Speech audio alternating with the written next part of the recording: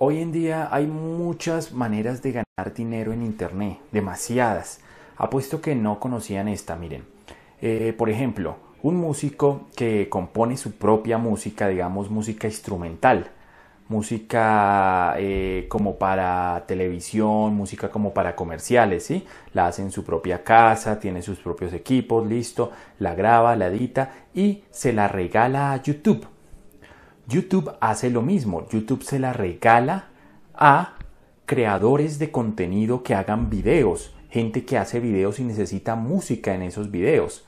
Entonces, cuando estas personas empiezan eh, a, a promocionar estos videos, las suben en YouTube y empiezan a obtener ingresos de los videos porque YouTube le paga a la gente que hace contenido, también le paga al que hizo la música. Entonces, YouTube le dice que eh, va a tener que compartir, va a tener que compartir el dinero con el que hizo la música. La música que usted está usando es de alguien. Entonces, la subió, esa persona la subió a YouTube y ahora usted la está utilizando y usted está generando ingresos a través de YouTube.